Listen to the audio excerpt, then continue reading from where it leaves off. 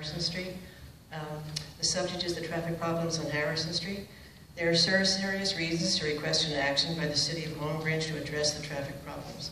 We, the undersigned residents, are requesting that a speed bump be placed on the street in the middle of the block. The following issues were brought to the council on July 10th, 2014, and on August 23rd, 2016. Since then, the situation has not improved, and in fact, the safety issues have increased. Harrison Street is two blocks long. One block begins on Washington Street and ends by turning a sharp right to Dudley Street. That block is wide and allows for cars parking on both sides of the street, as well as two-way vehicle traffic.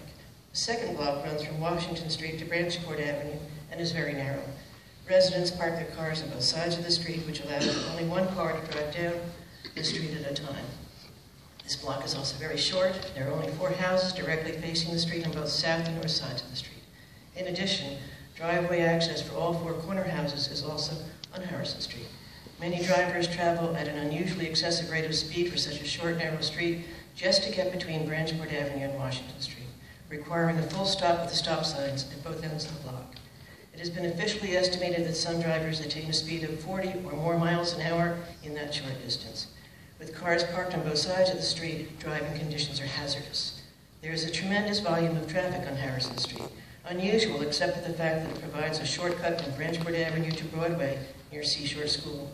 Drivers can avoid two lights on Broadway as well as the congestion in the uptown area by taking this shortcut. The volume of traffic is significantly increased during the summer and on weekends. In addition, this shortcut is used by employees driving seated vehicles to and from the Public Works Yard on the corner of Branchport and Joline Avenues. This vehicular traffic also increases in the summer as vehicles used for beach maintenance and other beach-related activities use the street for this purpose. Large trucks, including Jerry flatbed auto carriers, and even large Mack trucks also use this shortcut and pose a danger traveling down this narrow street. They should be prohibited. Safety. Since the previous letters to council, more young families with small children have moved into the neighborhood, and those youngsters are at risk of injury as some now ride their bikes beyond their own driveways, chasing balls that have rolled into the street, and play with other children across the street. Some of these children reside in houses on Branchport Avenue and Washington Street, but their driveways face onto Harrison Street, where the children play and live across the street from one another. Residents are justifiably concerned about their children's safety. It is also hazardous for residents who are pulling out of their driveways since the traffic is speeding so often and it is difficult to see around the parked cars to navigate getting out onto the street safely.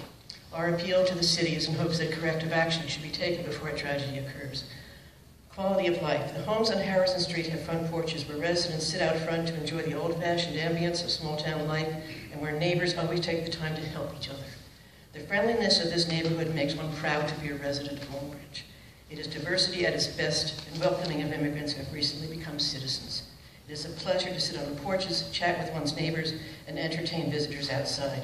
This despite cars speeding up and down the street, creating noise and exhaust pollution and fear of harm. Property value. Real estate professionals consider the street a quiet residential neighborhood in determining the value of the homes there, compared, for example, to Joline Avenue one block away. If they knew about the volume of traffic and excessive rate of speed by many drivers, their properties would be assessed lower than they are now. Neither the property owners nor the city of Long Branch benefit by that consequence. Recommendation, based upon the situations identified above, the easiest method to ameliorate many of the issues is to place a speed bump in the middle of this block. In addition, amending the weight limit on vehicular traffic utilizing Harrison Street would also help mitigate some of the traffic and safety problems. Respectfully submitted, and the neighbors are all signed their names. Thank you. So if you